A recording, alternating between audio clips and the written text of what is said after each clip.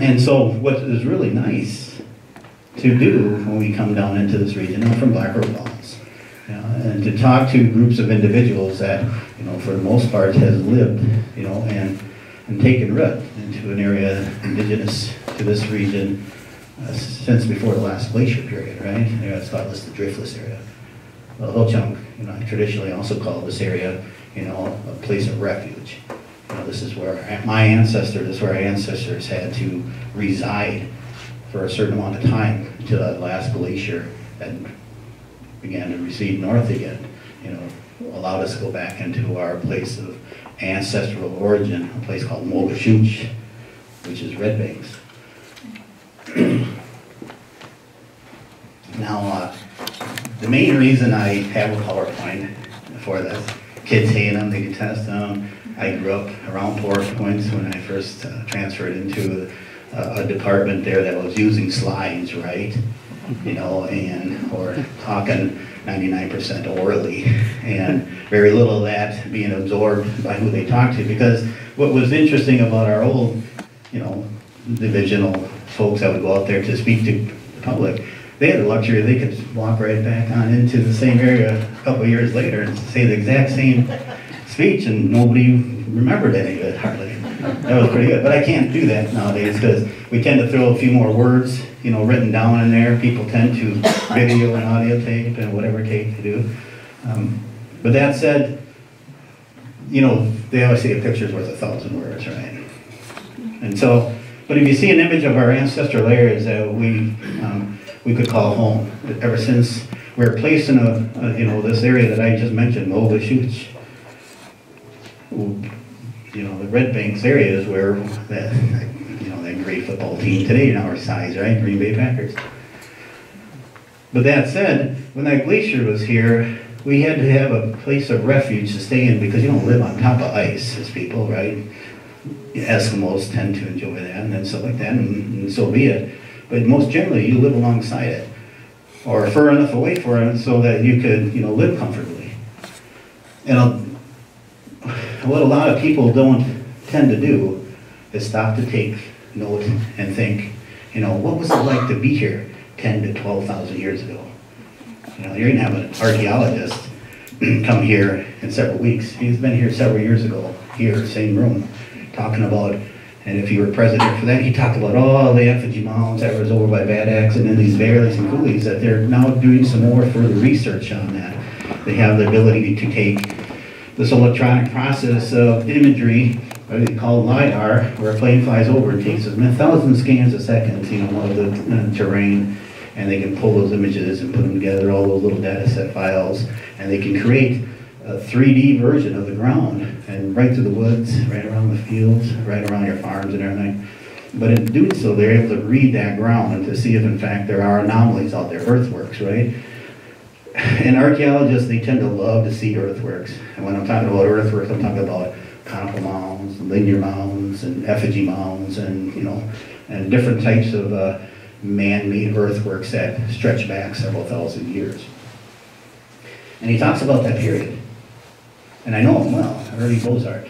We work alongside each other out there, and in, in, in different, you know, walks of life there, we're trying to protect and preserve and thus perpetuate our history of man in this area.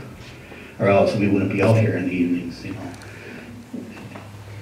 Well, yeah, this is fun. I kind of like it anyway, so I'd be out here anyway. Um, but I guess in short, you know, we take the time to make sure everything we want we say is done in an accurate way. He does the exact same thing, but he does it at a scientific level. but that driftless area that was in here, when that glacier come down here and it created all this, and as it receded around here, um, it created all this water, that these streams that you see today. And as you're growing up, you've probably seen the environment change even in your own, you know, farms and areas there. The stream's a little wider, a little more shallower, this, this, and that. Um, a hill's gone, right? Nowadays we have modern mechanization out there, so we can move whole hills. And we can create fake wetlands on there and fill them in over here. I want a house over here on top of this hill, so I'll level it off, and then and that wetland down there would be better if it was prairie grass to still fill it in. And, and we tend to play God a little bit more than we should.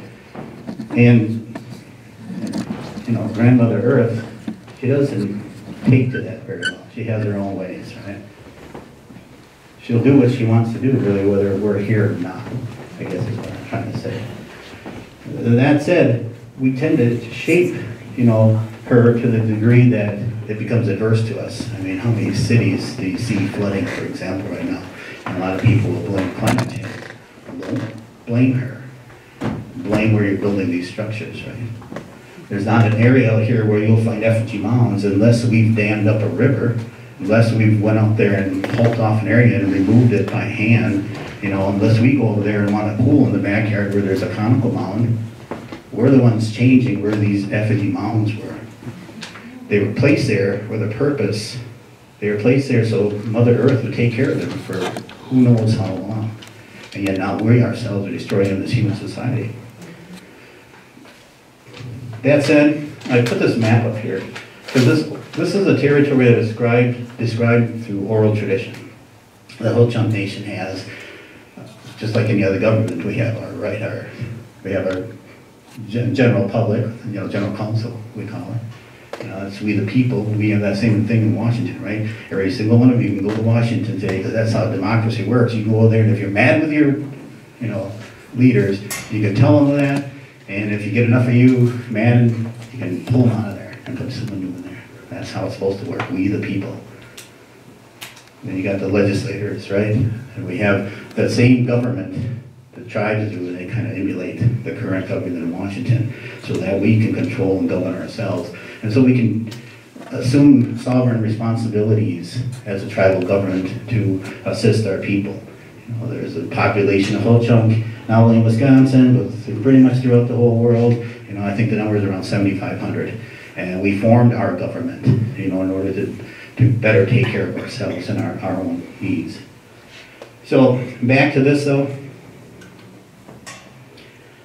We talk about origin and stories and how we, we do a lot of our processes orally, tell stories. We don't really rely on written language very much, nor do we really believe that this is where we should put all our eggs in a basket. You know, there was a time, you know, that even just on the other side of the earth here, you know, back in the 40s, there was one group of people trying to totally destroy another team people. They're, didn't want me to say that. But they were. They were putting them up in fence pens and they were destroying them, burning them, killing them. And they were trying to wipe them off the face of this earth. They were taking all their books, all their literature that even cited that group of people, putting them in the streets and burning them. And if it had been some, for somebody stopping that process, they wouldn't be here today. And so that's how close you are to destroying a whole culture. You get away with, you know, getting rid of them, and you get rid of that written language about them, and pretty soon the history tends to be changed by the people that are doing that. So we don't rely too much on this process right in here. The stories, the stories we use to talk about this area just tell that we are connected to this area ever since our first fires were lit here. We were placed there by our creator. You know, that takes us back to several gener- several glaciers before they actually say, only to be pushed off temporarily and then to go back. And it changed the environment so much, you know, that a lot of our stories in between that period and present here relate to the environmental change that has taken place within, within our within our history. And yet sometimes it's hard to comprehend that period of time. So what I kind of like to do sometimes, and to see if I can do it this way. Yeah, I can do it this way. If I can get the shortest lady here, and don't all raise your hand at once. Okay, sounds good. I'm gonna take this lady right here, and so you're gonna stand right here. I'm not picking on you, uh, but I have to talk over the top of her, and I don't like doing any of this, so I'm gonna talk around you a little bit. But if you can take your fist and put it right in there, like that, okay? I'm gonna take this lady back here. Yep, you. Yep, you're the lady, come on. Now, we're gonna have to stand here for an hour 45 minutes. You're gonna right in line with her shoulder, you're gonna put this fist up here, just like this, okay? You're going to stand right here. Right about here is one arm length. Right about here. Right, you stand right in front of this line, and you're gonna put that fist right in front of you, you're gonna hold that up there, you know? Power to the people. So, and here's, this is a timeline I'm creating, creating here now. And so I'm gonna take that lady in the corner, since she's sitting over here, if you can stand right up. You're right, yeah. And from here, you're going, you're gonna just put your fist up right next to her, right over here. Right next to her though. Oh. Yep, and everybody step forward to the crowd a little bit so, because I have a big belly. Okay, so the last person, that lady sitting out there in the red. Yeah, if you can actually, you don't have to, if you can walk that way to the other side of the building and on the wall, and she's gonna represent fifty feet from this point right here, fifty whole feet. So this is cool, no, okay, so they don't have to touch, uh, you're just going to put it, you're gonna put it right straight ahead of you, and you're gonna put this right about here, just like that. Yep, you're just gonna try and keep twelve inches apart of you, right there, twelve inches, just a little fist, smaller the better. Okay, what this is gonna be, this lady here, I'm not trying to touch it, touch it, I'm just touching you. Um, what this is, is, this is two thousand nineteen, so you can, from this point on, if anybody knows her, and you see her at the grocery store, say, hey, there's Miss two thousand nineteen. That's her. But she's also fourteen ninety-two, okay? And somebody sailed the blue, fourteen ninety-two to two thousand and nineteen, this is the timeline now that most history books will talk about, you know, Christopher Columbus, Jean Nicolet in 1634 stepped ashore in Green Bay right here, and the first people encountered was Ho Chunk. You'll hear it in the history books, and you see the manuscripts of Winnebago people. Well, this is what other tribes called us, the Winnebago people. But he stepped ashore, and he met my ancestors right there, right about there. 1634, 1700s, the British, you guys know all your history. Uh, 1800s, Americans, right? And then 1848 became a state. 1900s. That's when, I think 1901, wasn't it Trump was born? I don't know. I'm kidding. this might not be the right crowd to be talking to. Well, Okay, so anyway, anyway, so he was born somewhere in this nasty period of time. And so anyway, so this is the historic period. Every his- history teacher out there will talk about historic periods, and then this is prehistory. And it's so funny because it is a prehistory, because man has history, and we have stories that, and proof positive that man was here all the way back to the last glacier period. That archaeologist that's coming here, that whatever archaeologist he says he is that week, he's gonna hold up arrowheads, and he's gonna talk about this Clovis point that takes you back twelve thousand years, time the mastodon, the short-faced bear, and all these big giant animals were in this area, right? And these are the tools that they used to harvest those animals back then, because everybody know where Boaz is? Everybody hears about the mastodon was found, there was tools and cut marks on those bones and stuff like that.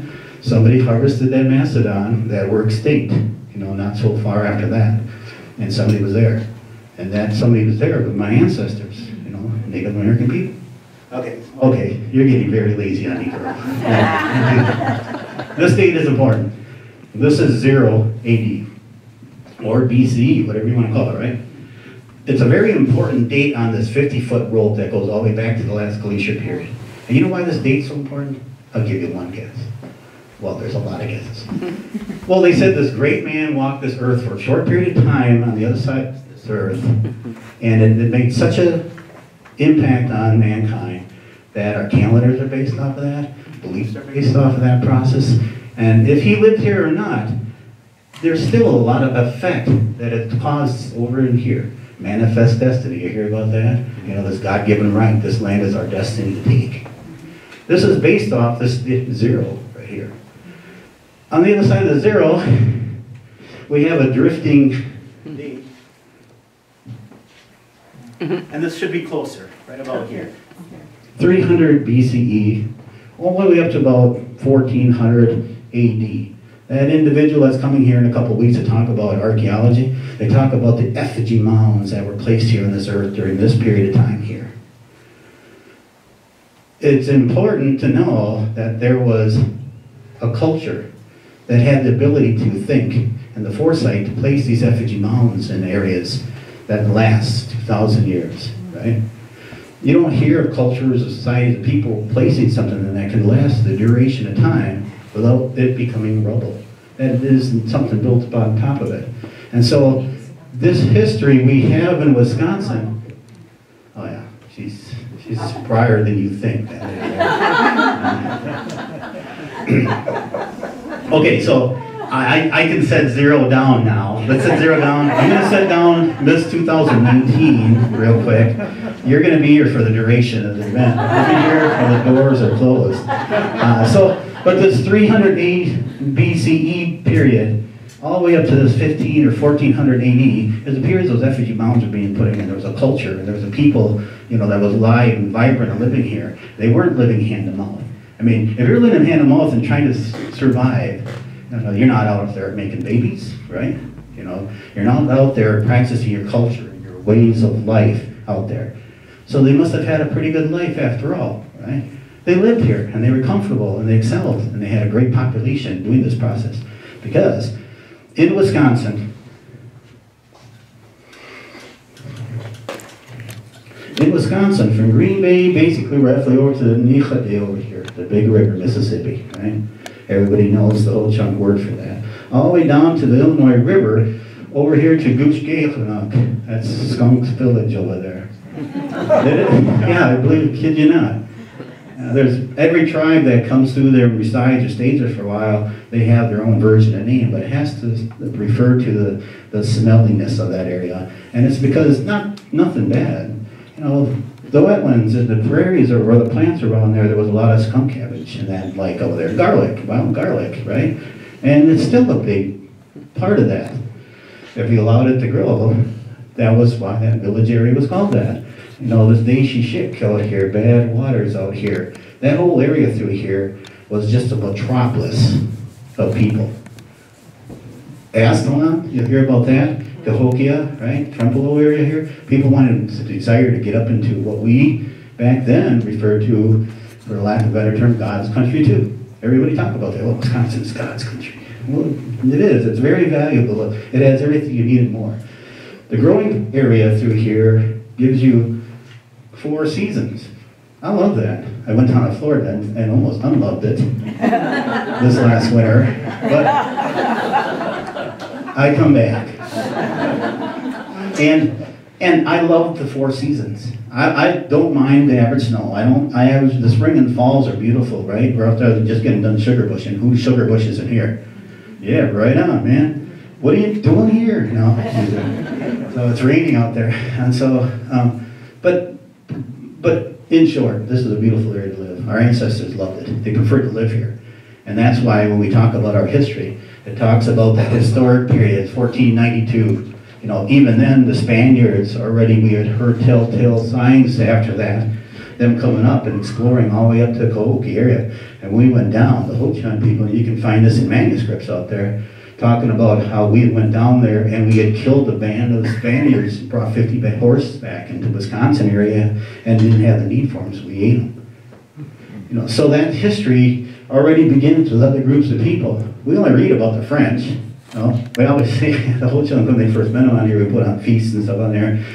Because we already heard the tribes from the east coming this way from pressure, and they were bringing these metals that we weren't familiar with, so we're anxious you know, to see where they're getting them just as anxious as, you know, not. And because we didn't have those tools. We didn't have the knives, we didn't have the powders and stuff that was coming along with that. And once they came here, life became better for us for a short period of time. The French, like I say, maybe I didn't say it to this group, I'm scared. you know, the French were lovers and they weren't fighters. They didn't want to take your land. They wanted to take everything from that land, you know, and you wanted to trade with them to do that. The hides and pelts was their claim to fame.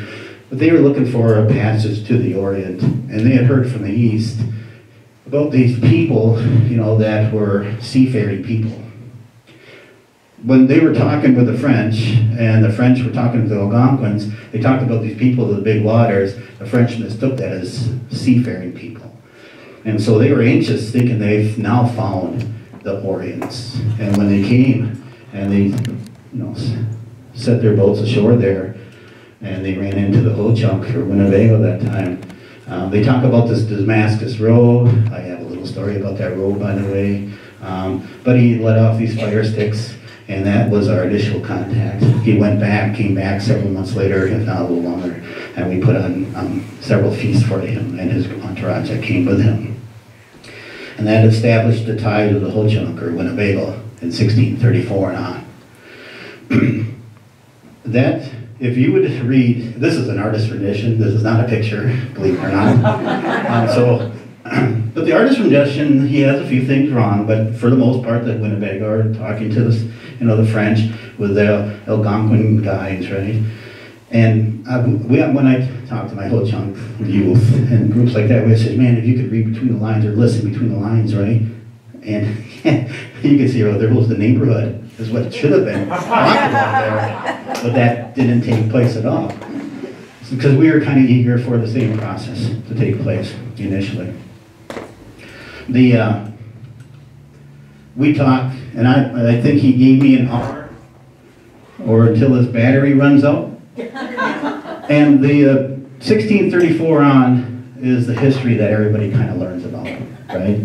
The French, how they came here and traded, only to have problems with the British coming into this area. And, and so the French, you know, didn't need forts so much, but the British did. So you see those forts that were in Green Bay, Portage, Prairie du Chien, all these forts or these trading posts, you know, went into British, you know, hands and then ultimately to the Americans that came here and pushed the British out. So, you know, it's a lot, a lot of, lot of really boring reading to me, but it affects us too because during that whole process on there, um, you forget to talk about the indigenous peoples here in that history book until you get to, you know, the American and the Native American or, you know, the Indian War as they call them.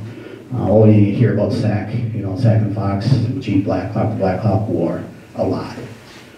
The, um, I told you about the French coming, life was good.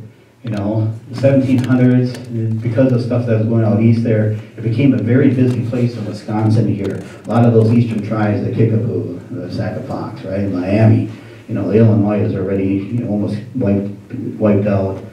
Um, but all these tribes are being forced into an area, and then you can only put so many people that lives off, you know, the environment around you into a small area.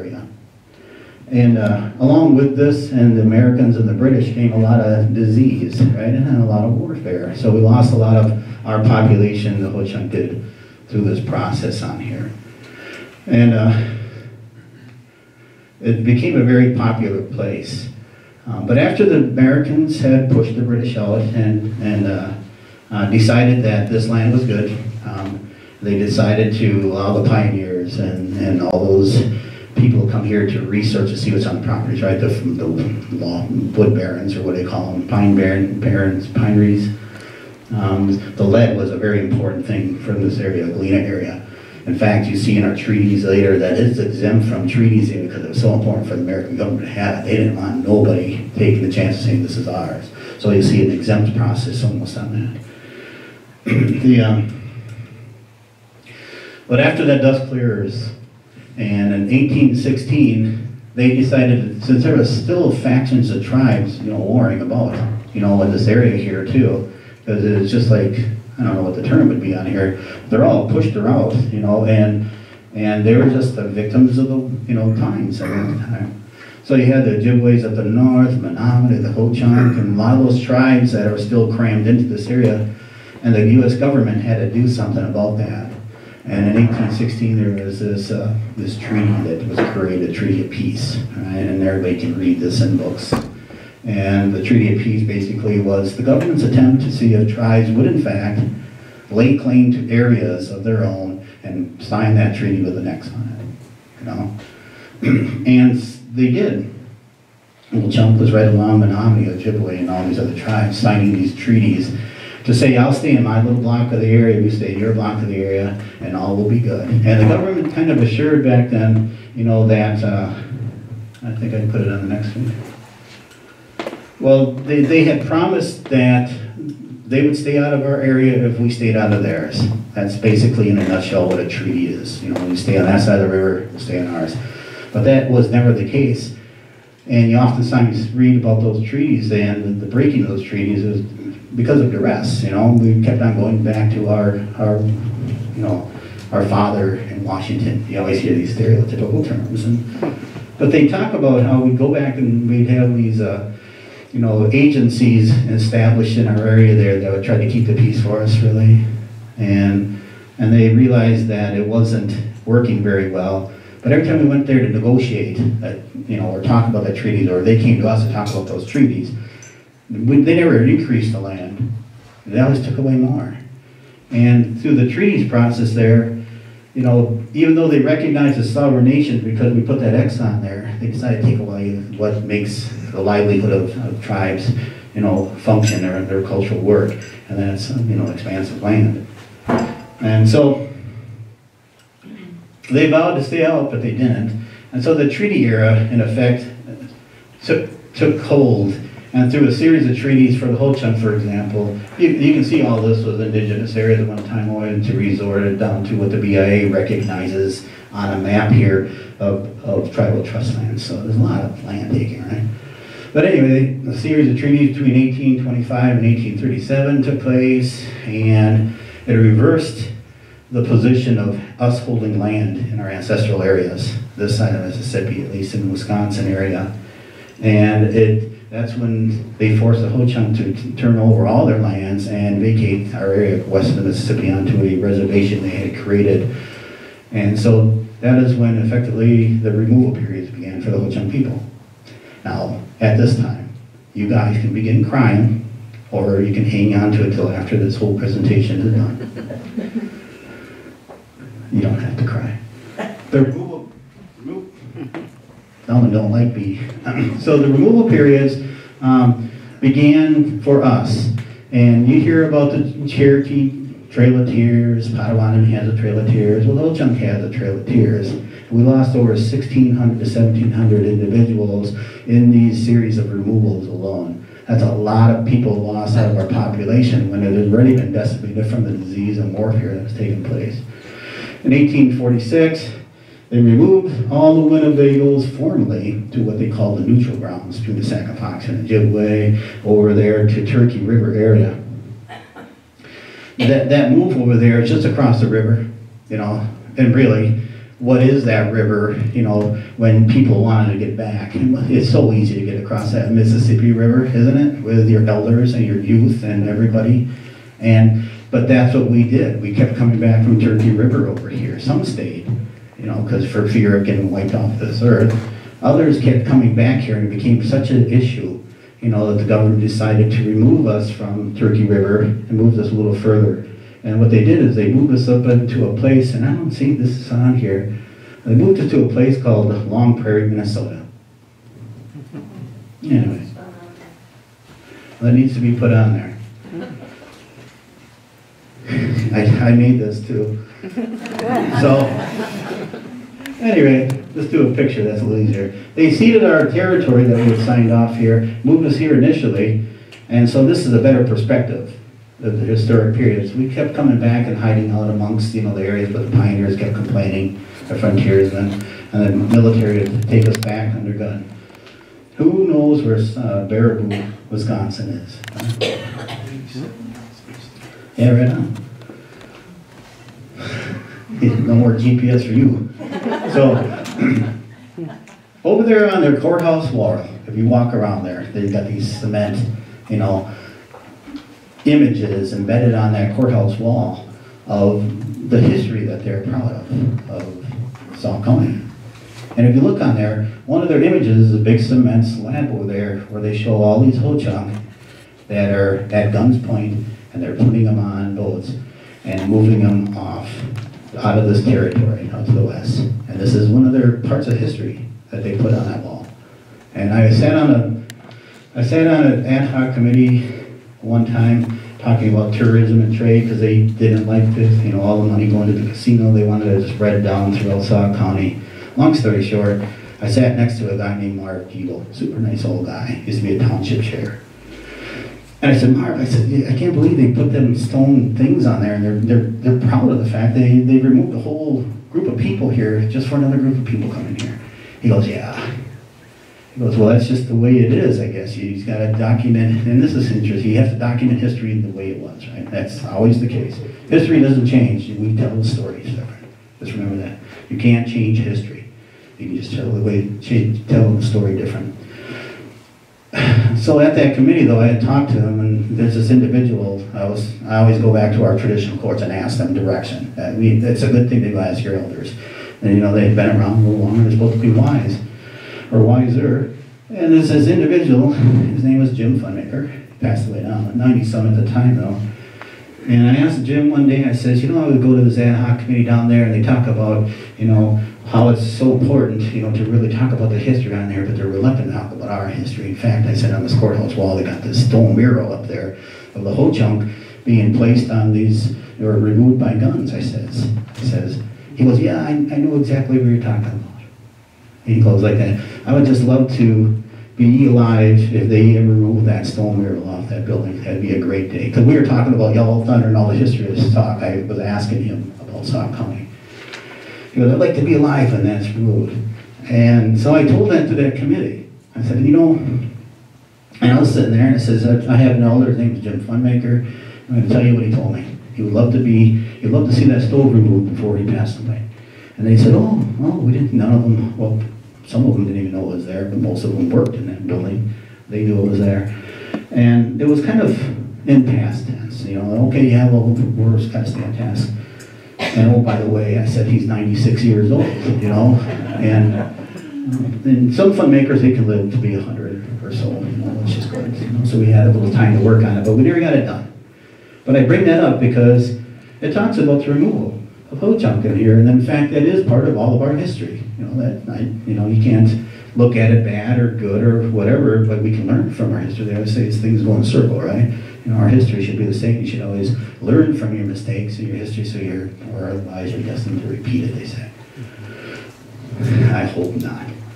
So after they moved us here, they found that it was not feasible to keep dragging them back across and dumping them off here. They moved us off the long prairie up here. And, and you take an agricultural type tribe, and Ernie will talk about that right here. And then when those mounds are being placed on here, agriculture is just becoming king in this area. You want to learn where your agriculture um, developed or originated from in Wisconsin? Talk to the They brought the first corn into this area. They brought the different plants and they had to adapt it to grow in this area down here because we picked it up from folks from the south and adapted it up in here. Now you can grow corn overnight, it seems like, right? Uh, but it wasn't always the case, and the corn we brought up here was more of an eating type corn. We still use it to this day, you know, at, at great cost. It to plant corn exempt or away from other corn, so it doesn't mix in with your field corn type stuff, you know. But it's, it's a highly valued corn because the tribes up north, they can't grow it. They can grow it, but not effectively, not in great quantities. So it becomes a very valuable trade item, right? Uh, because it's a very good tasting corn. Menominee look forward to us getting our corn. You know, the Ojibwe up north look forward to us getting, our traditional corn. This guy here is probably sleeping, dreaming about my traditional corn right here. So, um, that said, you know, that's just one iota of, you know, the agriculture that take place in here. And if you, in Vernon County talks about the raised garden beds in this area of old. Anything along the Wisconsin River and the Fox River that comes along and comes it. Those raised garden beds that was all the way through from Old, but all the way up through here, this whole area up here. There's still remnants of them out there. So those are those items that you can go over there and you put your feet on, right? And, you can touch them. These effigy mounds, you go over there and lay on them if you want. But they're proof positive. You know, there was a, a group of people here that culturally were advanced. You know, did everything we wanted to do and more in order not only to survive but to excel as a group of people. this ancestral area I talk about right here, those stories that were along this, what I normally do, I should do it back to this because I had this lady up here, arms up in the air. I usually have this 50 foot rope that I forgot to bring. And in this 50 foot rope, I have these strings on here, leather ties on here. It tells you those dates on here uh, that I kind of mentioned. There's two strings over here, talks about that period of time those effigy mounds are on here. But then all the way past that, there's these strings on this, all the way back to that last glacier period. Talks about all the many oral histories and the stories that we have that took place in our area here.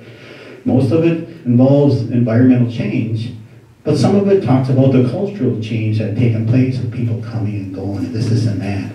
And those stories are so phenomenal to tell your children, and hopefully they can pass those stories on. But that rope doesn't change. That same length, one more year.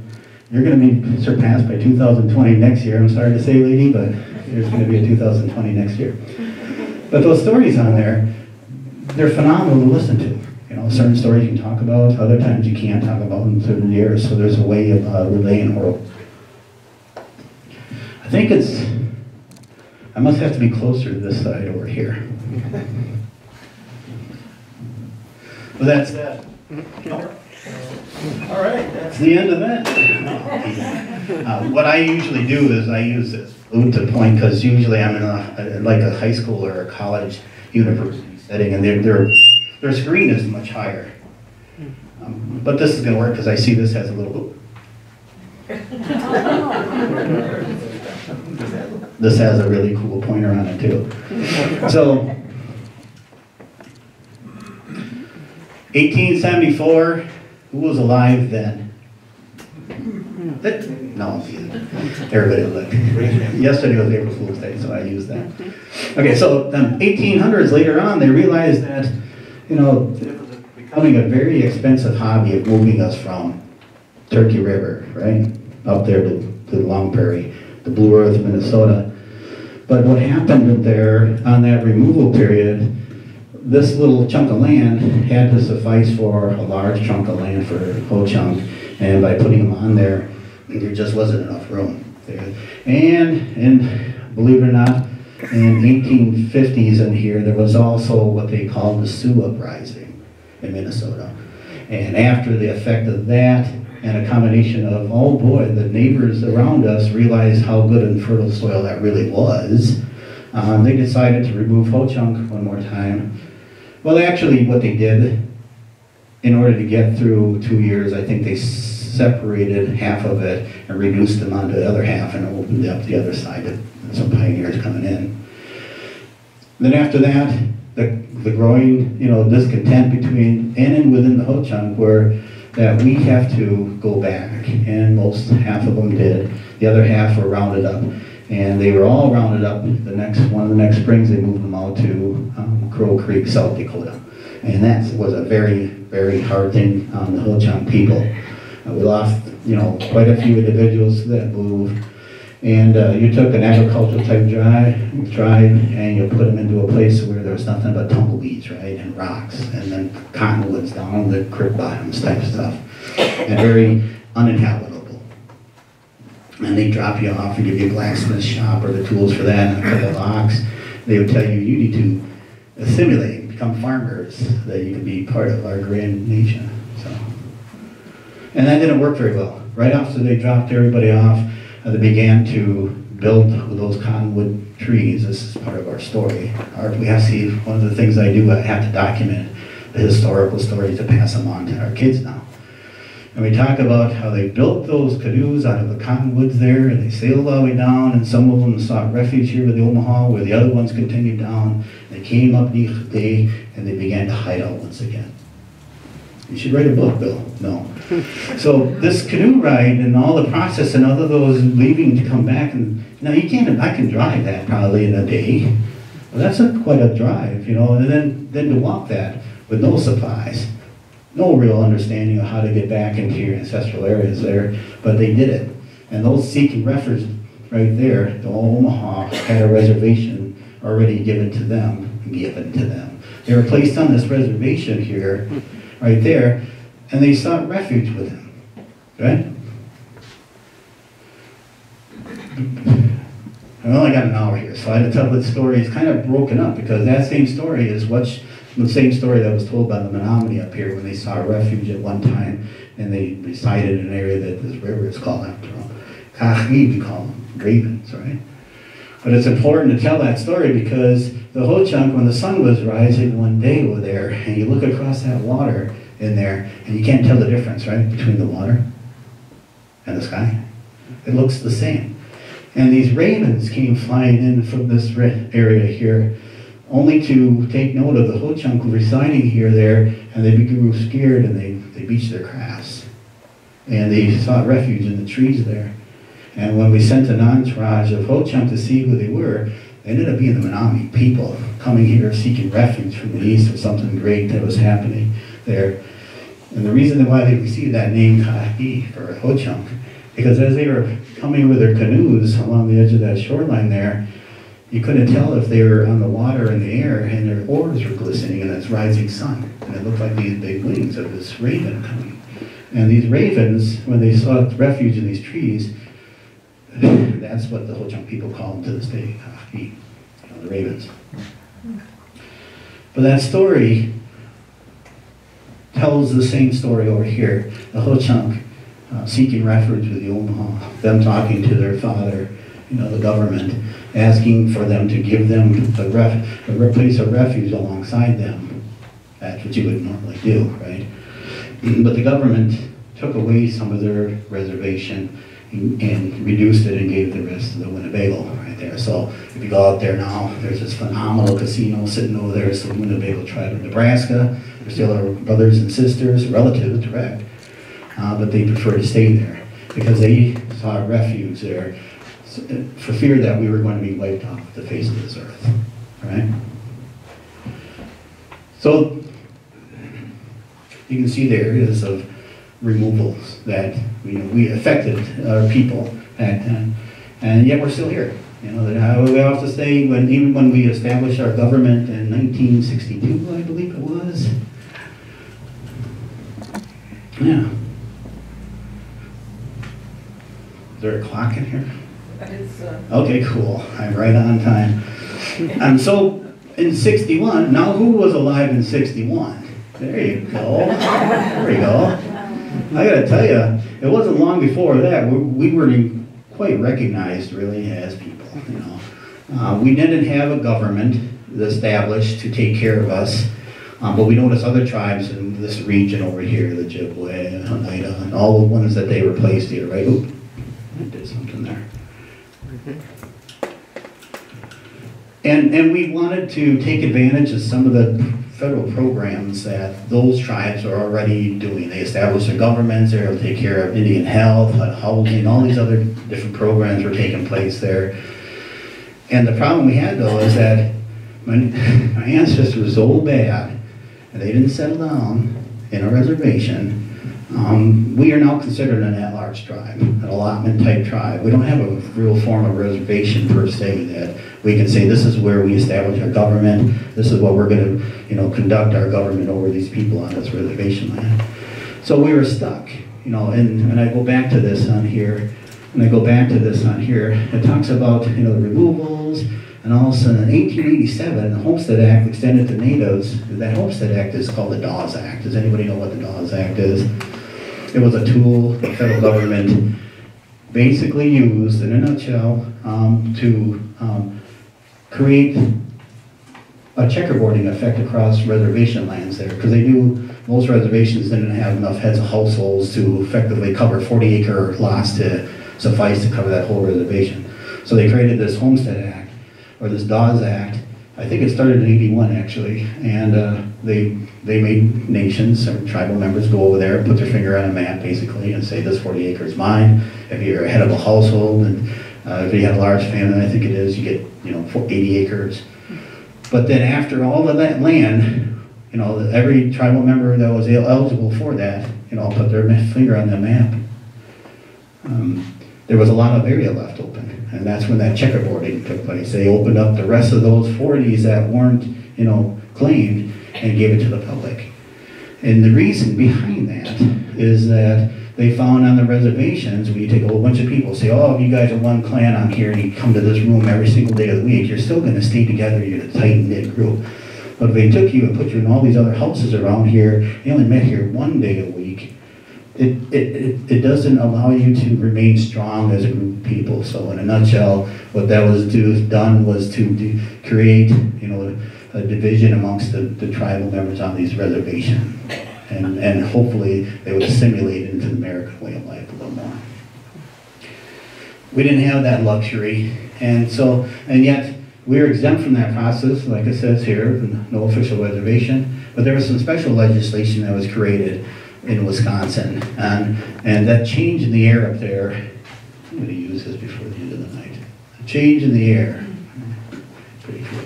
So, so, the change in the air took place, and they said, well, we we can't keep chasing Ho Chunk back onto these reservations. And there, there were other things at work there. We had certain families that were going to bat for us at the state level and at federal level. You know, you'll hear the term of Spaldings and all these other names that grew sensitive.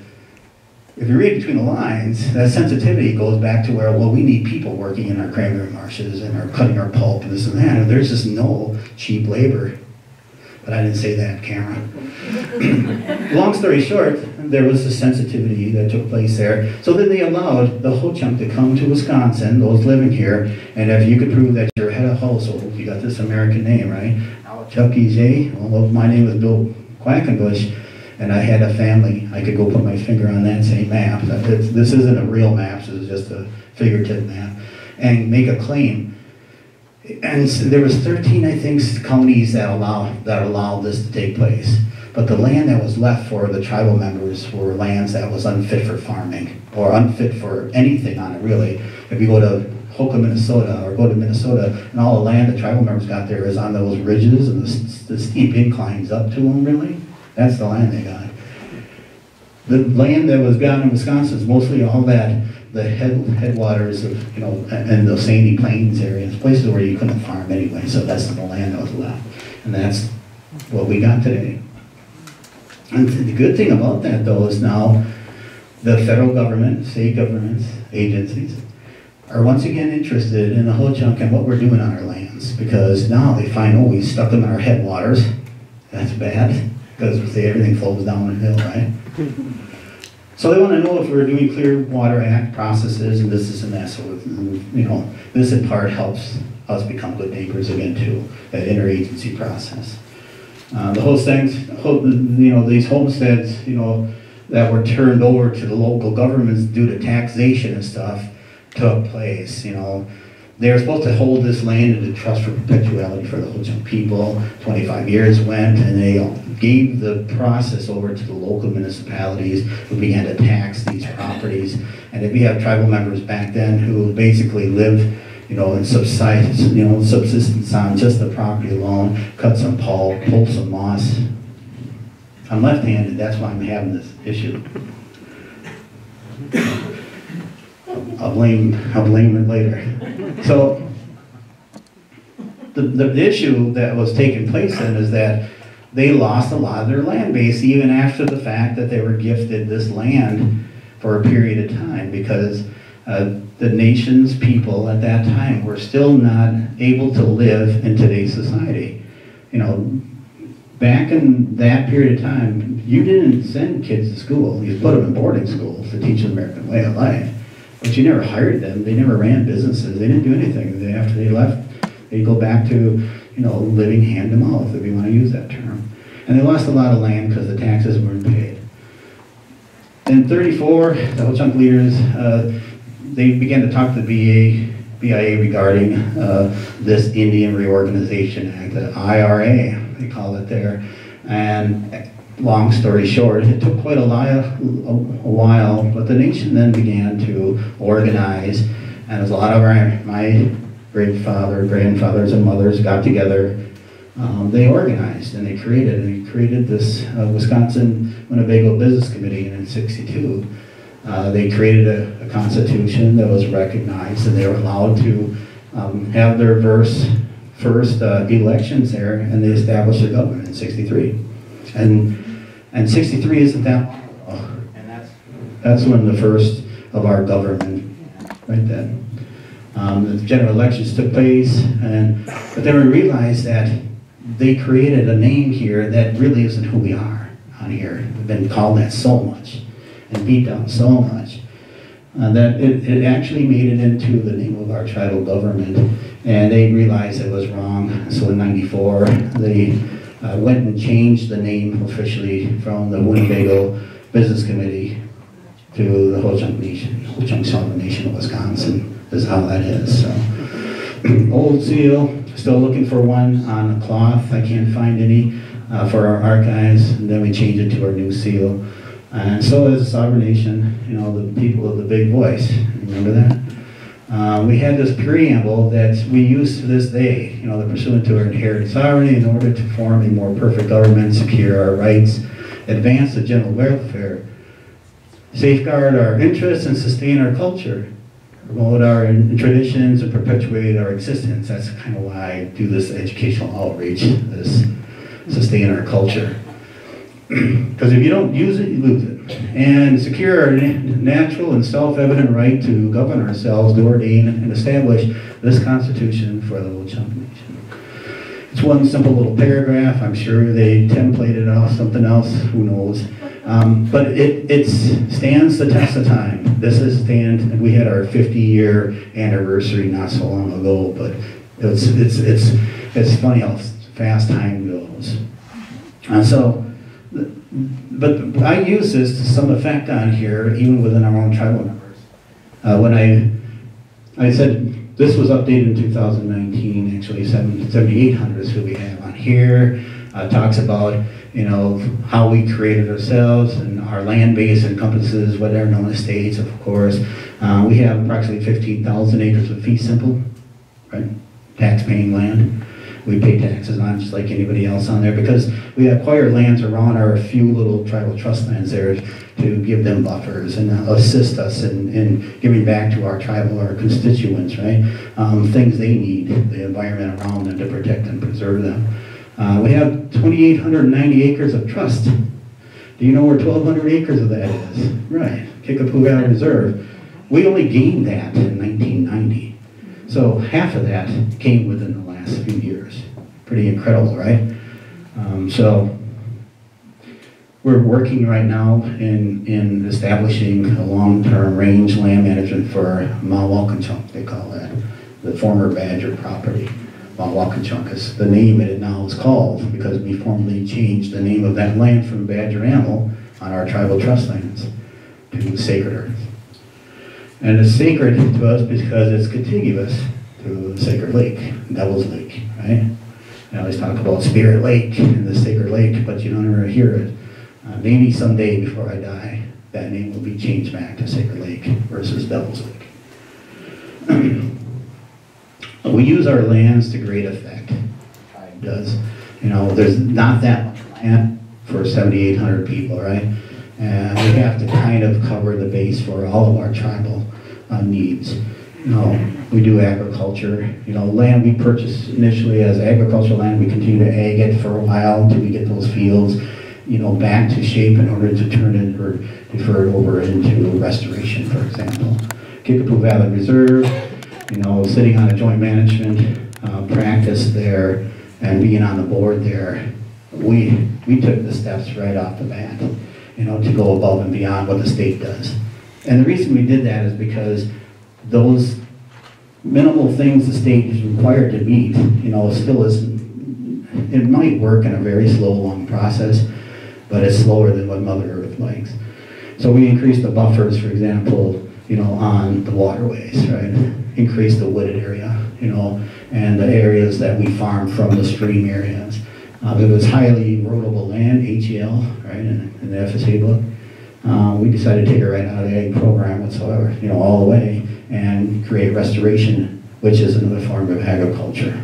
So, um, when I was talking about that highly erodible land, you know, and and how this earth has shaped itself, you know, um, and talking about that glacier that was way back there. That lady, is she still standing against that wall? No. you should put the hand on the least now, huh? But there's a story that goes when that glacier was receding. Um, and it was told by that very same individual. His name was Jim Funmaker. And I'm going to go back to this map right here. And the reason I go back to this map uh, here because it's important for people to know, you know, our history here as mankind. You know? And the stories that are told are very accurate. And it, it, it, it's hard to change those stories. Because they are told in a certain way that there's a redundancy process in place. It's, it's a little different than if I whispered into this lady's ear and she whispered into this, and it goes all around the room. And by that that story gets to that lady over there, it'd be completely different, right? That's a game, you know. But that, that isn't how oral history is passed on.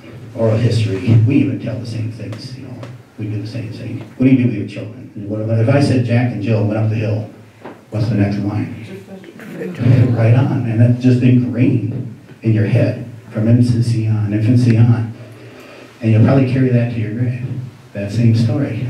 Fetch a pail of water. And the Ho-Chunk, we have a process of telling a story, and there's a redundancy process in place. And in those lodges of old, in those longhouses, and those medicine lodges, or even in the family lodge, the Chipotekas, they call them Chipotekas, you know, you know, the Chippewa, and they call them in the Algonquins, you know, wigwams. You always hear the term wigwams, you know. And, and every time I talk about, oh, where'd you live in wigwams? And I go, no, we didn't live in wigwams. We lived in what we call Chipotekas. Chini means home, and Puroke means round like my belly. no, it doesn't mean that, but it means round dwelling area. and in that family dwelling is where a lot of your oral history Get in. There's a siren out there. Okay. But the history was told in that family setting there because you had your great grandparents and your grandparents, your parents and your children, and their grandchildren. And it has always been, ever since we can remember, these stories from being here, our elders teach us and teach our children. And so Choka, my grandfather, who would be sitting in here, and I have my children sitting here listening to him tell stories in the wintertime over this fire, right?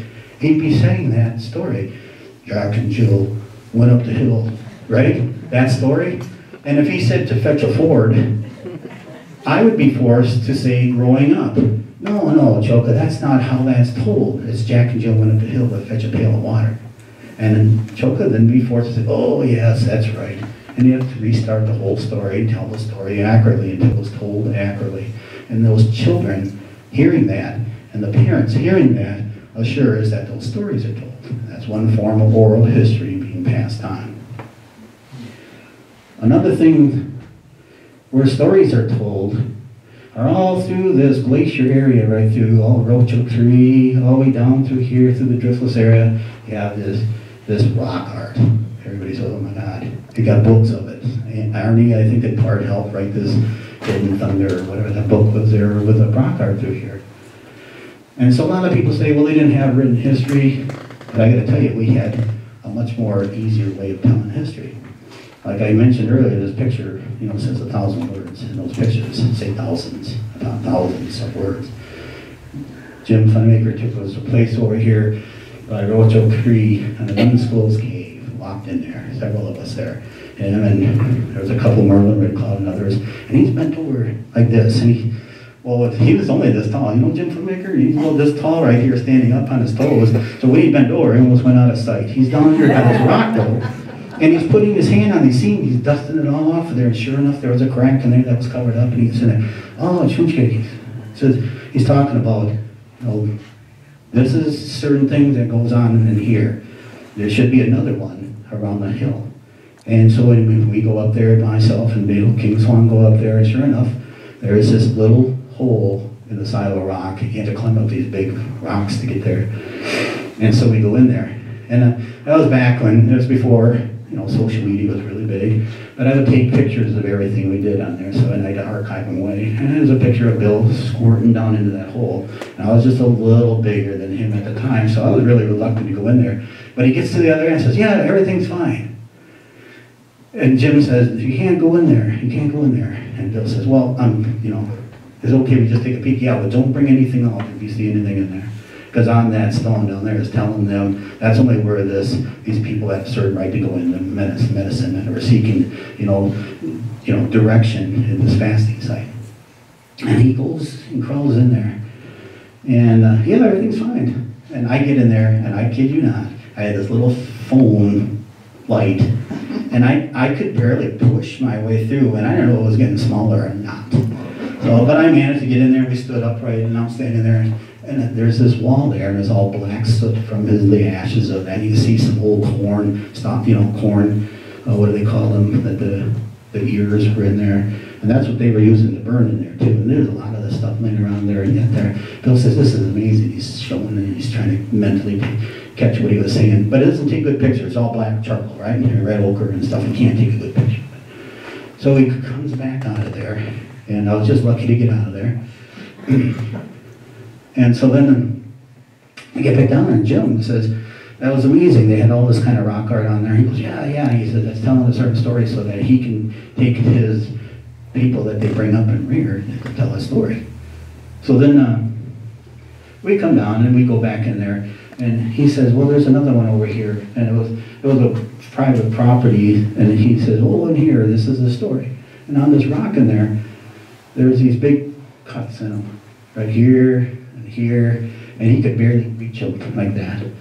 And they were receding, receding, receding, and they had these pecked out animals those mastodon. I was telling you about those big giant short-faced bear, and these animals here, and these other animals are coming in, are replacing them. And as that glacier was receding, the same story he told us has to be told the same way. As he run his hand on there, he's talking now, telling the story he learned as a kid going in there listening to his elders. And as he was telling, he says, "We need to come back here sometime, you know, so we can tell this story the right way too. He needs to hear it." Well, we never went back to that story yet. He passed away. Um, but this place is still there. It'll be there for who knows how long, right? It stands the test of time though, you know, and that's what they felt would have been a good thing for him to do. So, I, I think I'm running out of time, but I'm going to tell you one story. Is that okay with you guys? Good. Okay. Don't charge me for this. So, I talked about that glacier period back there, and the same guy, Jim Funmaker. I wish he was here to talk he would be able to tell this so much more, you know, he would have the ability to tell the story in a much better way. The um, glacier, when it was receding on here, it had shaped our environment to such a degree. Our ancestors told us stories about that, okay? the FSA, or NRCS here from Vernon County. I think it's from Florida. His name was Jim Radke. Anybody know him? Right, great, excellent. Then I'm not going to use the story. No. he came up to the Ho-Chunk and asked them, you guys always say that you always, you know, been here for a long time. We have this issue, this situation, I guess I should say, where we're trying to figure out the, how, how this so, certain soil series was placed here, or had developed or been created here. And uh, when he came to us, we didn't really know. But in the process, though, of all people, Bill Kingson and I was sitting in the little area of our environmental resources office. We used to work in our environmental resources area. And so here's Jim. He comes walking into his little box, and there was a little snake in it, and he's just fit to be tied. Oh, he hey, look at this. He goes, this thing's not supposed to be here. What is going on? He goes like this. This earth is changing. He goes, this snake's going to be here. He says there's birds laying dead along the roads. You know, the things are changing so fast. He says we need to do something about it. We need to tell somebody about that. And we're like, who supposed to tell, you know? And so I said, well, we'll take note of it. We're pushing that snake around there because I think Jim killed it almost.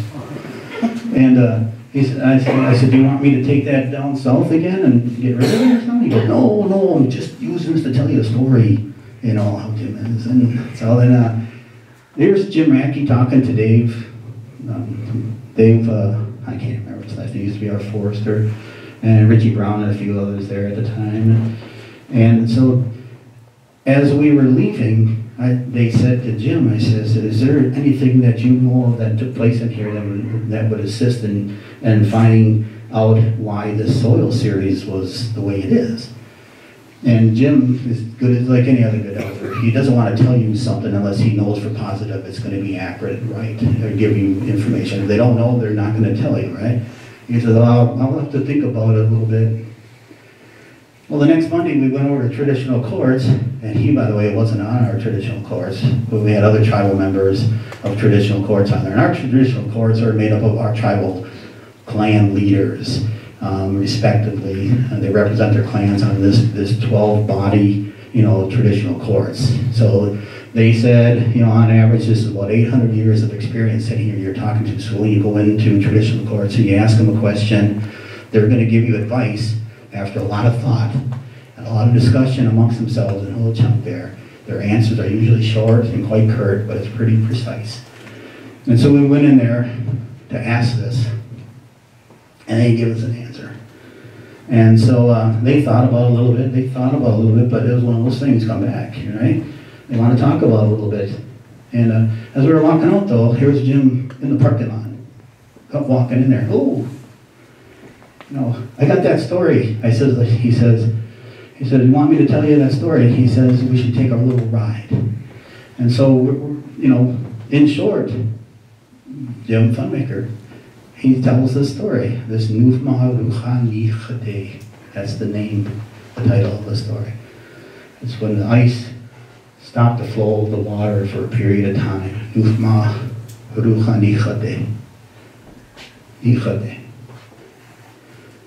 What happened, in short, the ice that was coming off from this draking off in shards, it came down and right there for a while created this ice dam. And when he created that ice dam, the water had to go back up the Wisconsin River for a period of time. And when it was going up the Wisconsin River for a period of time, right here, um, it eventually became a, a, large pool of water. You always hear about the glacier lake, but for a period of time there was a lake that was created right here. Our ancestors sitting on all these bluffs that you guys love farming today out here and stuff was watching this unfold. And as eventually that ice broke away and the water began to return and go there, well then this is what you have today. You know, the river systems and the coulees and this and that, because all that water has to go somewhere. They talk about a story of sitting here where you look three ways and all you see is ice. And you don't see ice almost, and you don't see the sun until midday. That's a lot of ice. It's a little different than your glacier. You go up north, you know, Canada, Alaska, and you see this pile of ice coming down between two hills. This was a little different than that. This was a big chunk of ice that was creating something and making something. And all that water had to go somewhere and it came through here.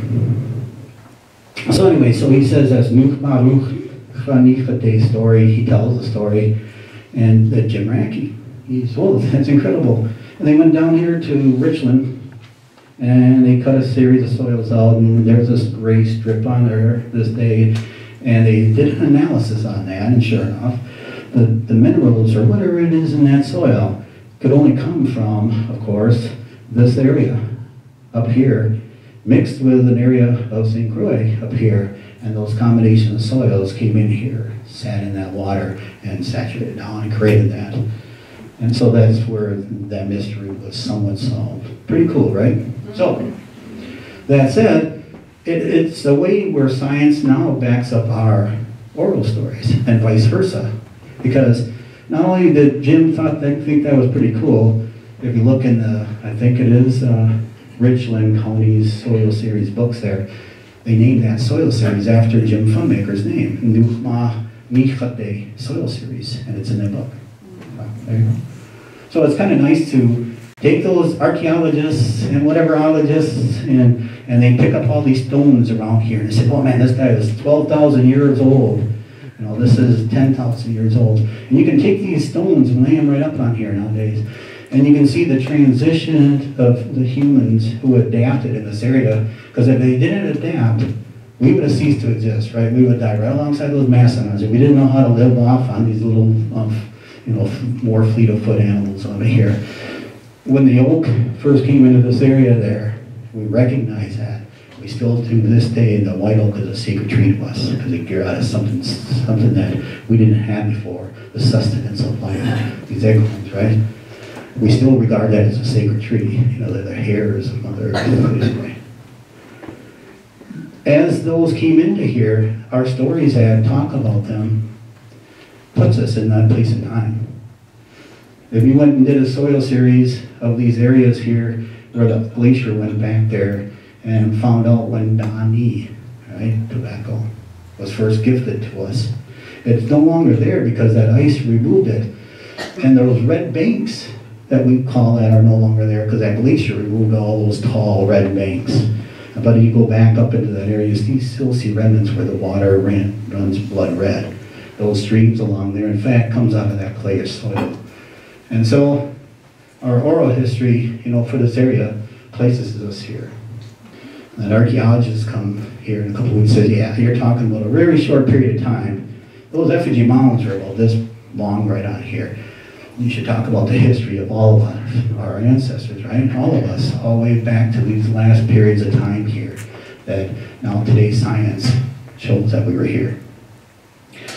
Anyway, I think I'm going to leave it at that. I'll have to leave room for more, right? Uh, so I'll be back in about a half an hour. you guys don't move. So. Other than that, that's all I have. Thank you, folks. I.